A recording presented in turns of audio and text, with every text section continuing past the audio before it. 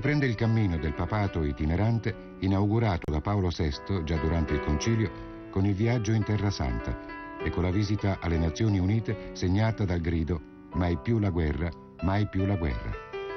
Dopo che Papa Giovanni era già uscito dalle mura vaticane per andare a Loreto. Tanto che la gente, sorpresa dalla novità, fra i tanti appellativi affettuosi che gli rivolgeva, coniò anche quello di Giovanni fuori le mura, con qualche evidente intenzione di metafora.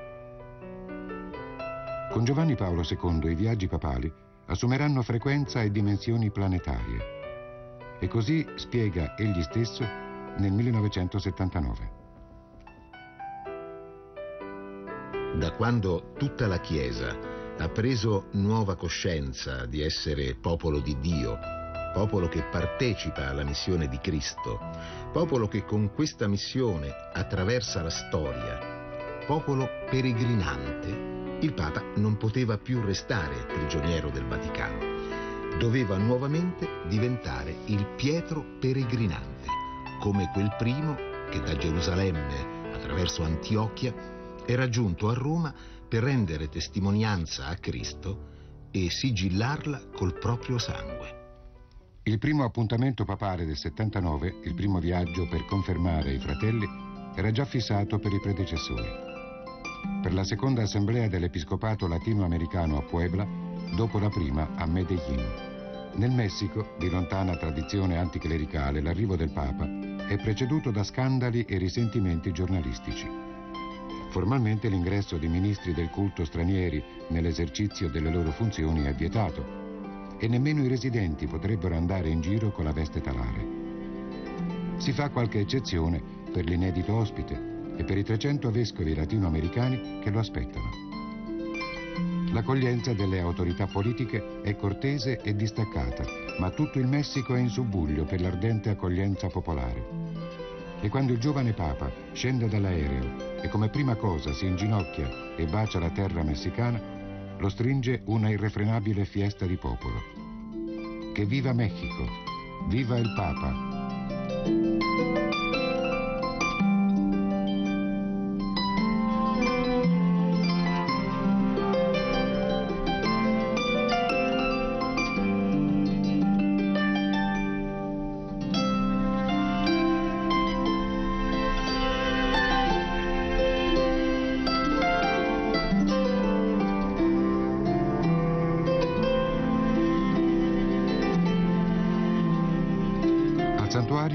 Madonna di Guadalupe, luogo di grande devozione popolare per la Virgen Morenita. L'apparizione della Vergine in veste di signora India nel 1531 al contadino azteco Juan Diego. Indios, meticci, neri, con le donne e i bambini, si sono riuniti da tutto il Messico e da diversi paesi dell'America Latina per fare festa e pregare insieme con il Papa. Ascoltano la sua invocazione alla Virgen Morenita salva le nazioni e i popoli di tutto il continente, salvali dalle guerre, dall'odio, dalla sovversione. Fa che governanti e sudditi imparino a vivere in pace, facciano quanto esige la giustizia e il rispetto dei diritti di ogni uomo affinché si consolidi la pace.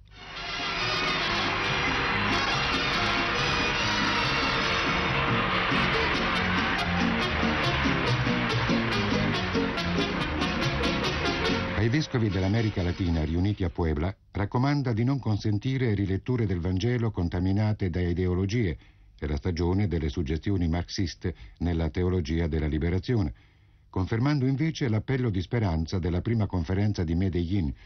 El nombre sonoro y expresivo de nuestra ciudad con la sua opzione per l'uomo latinoamericano, visto che nella sua integrità con il suo amore preferenziale e però non esclusivo per i poveri, col suo anelito verso una liberazione integrale degli uomini e dei popoli.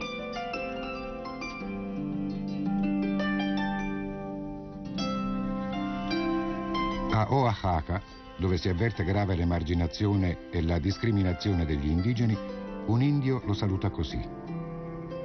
Tu hai detto che noi poveri dell'America Latina siamo la speranza della Chiesa. Guarda ora come vive questa speranza.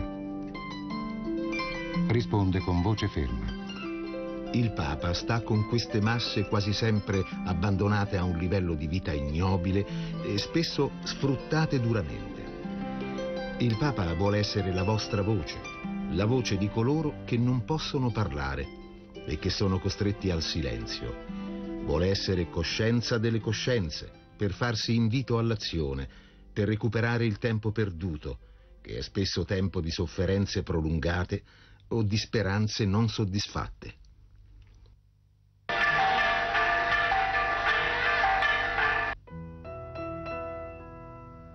Marzo 79. La prima enciclica, Redemptor Hominis. Il Redentore dell'uomo, Gesù Cristo, è il centro del cosmo e della storia. L'uomo è la via della Chiesa.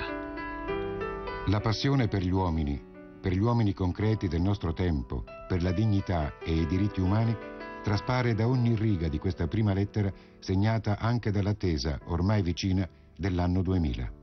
È difficile dire in questo momento che cosa quest'anno 2000 segnerà sul quadrante della storia umana. Per la Chiesa, per il popolo di Dio che si è esteso, sia pure in modo diseguale, fino ai più lontani confini della terra, quell'anno sarà l'anno di un grande giubileo. Siamo anche noi, in certo modo, nel tempo di un nuovo avvento che è tempo di attesa.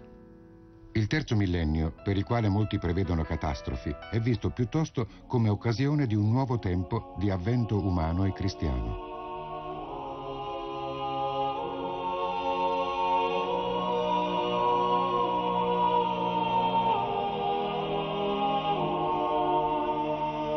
Dal 2 al 10 giugno, tempo di Pentecoste, Karol Wojtyła ritorna per la prima volta da Papa nella natia Polonia dove la sua elezione è stata accolta dal tripudio popolare e anche da qualche pur trattenuta soddisfazione dalle autorità comuniste.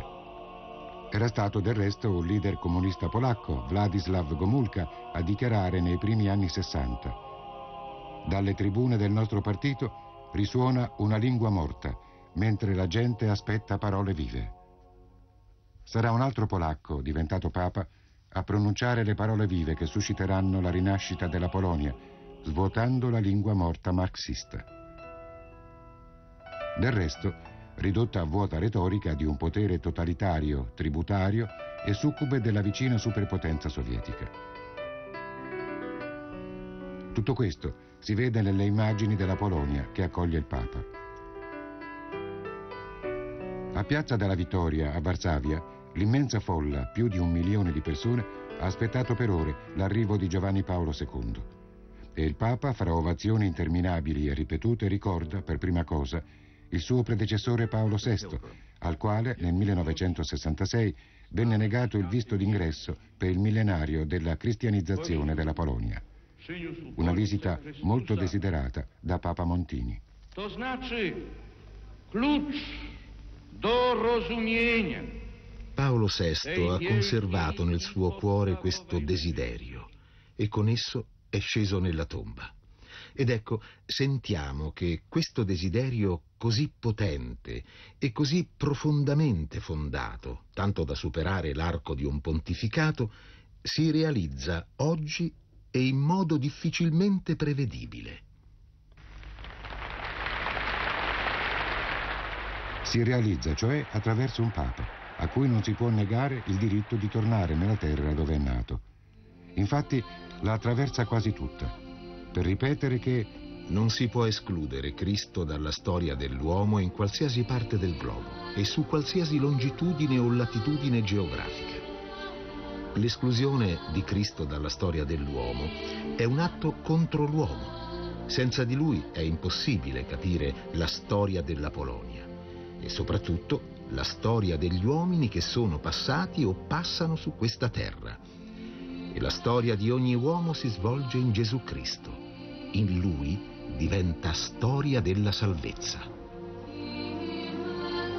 Da Varsavia a Cestokova.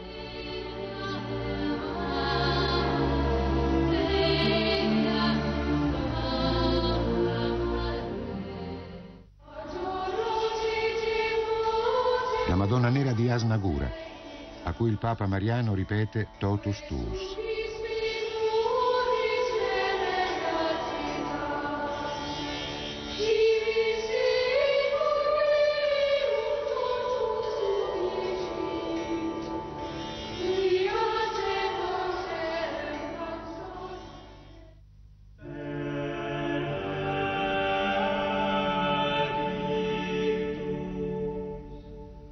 Ad Auschwitz, Golgota contemporaneo.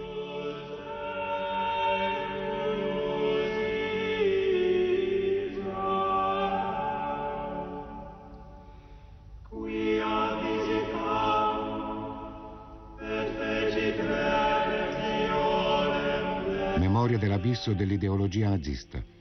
Chino sulla lapide che ricorda l'olocausto degli ebrei, in ginocchio nella cella del sacrificio del francescano Massimiliano Colbe.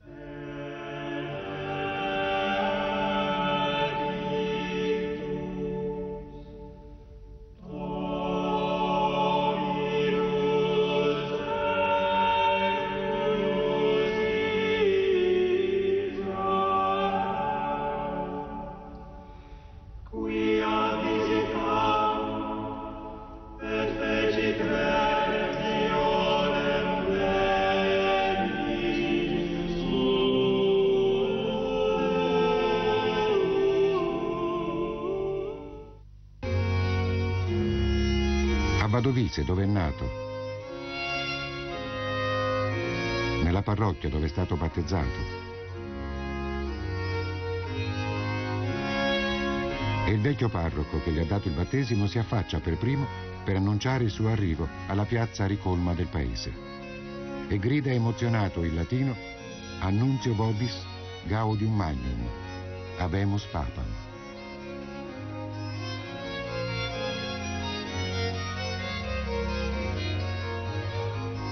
Nella vicina Calvaria, dove bambino il padre lo portava per mano a seguire la via Crucis sulla collina.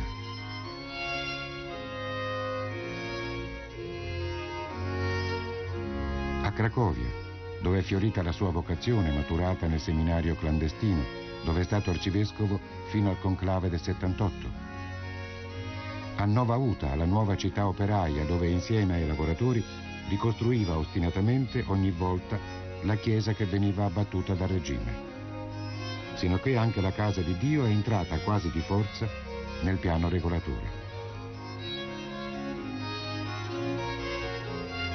Emozioni per tutti, da un passo all'altro. Ma forse l'impatto più forte che travalica i confini della Polonia e si diffonde in un attimo nel mondo avviene a Gniezno, culla del millenario cristianesimo polacco e sede primaziale del cardinale Wyszynski. È il 3 giugno 1979, festività di Pentecoste. Le parole hanno una forza, un eco imprevedibile. Qui si presenta come il primo papa slavo della storia.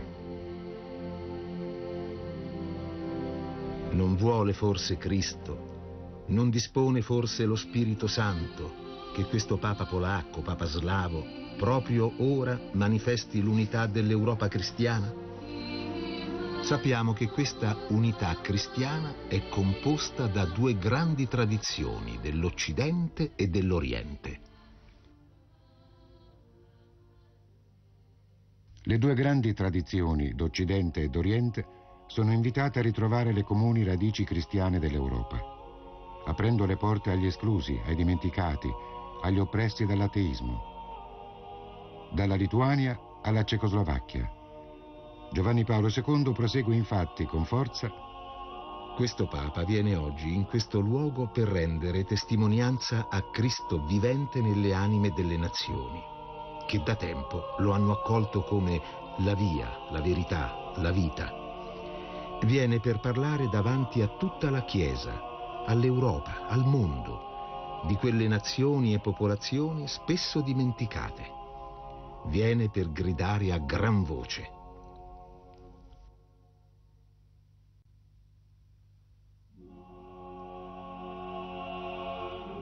Il collegamento radiotelevisivo per la prima volta in diretta dalla Polonia diffonde quelle parole all'intera area centroeuropea dominata dall'Unione Sovietica e sin dentro i confini dell'URSS, nei paesi baltici, l'Ucraina, la Bielorussia. Mi ascoltate voi? Mi ascoltate voi? aggiunge il Papa con l'accento slavo. A questo punto, d'improvviso, si interrompono le linee radiotelevisive internazionali. Ma le parole decisive sono ormai passate e non resteranno senza storiche conseguenze. Giugno 1979, Polonia. tempo di Pentecoste, la prima data di un grande cambiamento che farà cadere le mura di Gerico dell'Europa divisa, itinerario che Giovanni Paolo II conclude con l'antica invocazione. Scendi, Spirito Santo, e rinnova la faccia della terra, di questa nostra terra.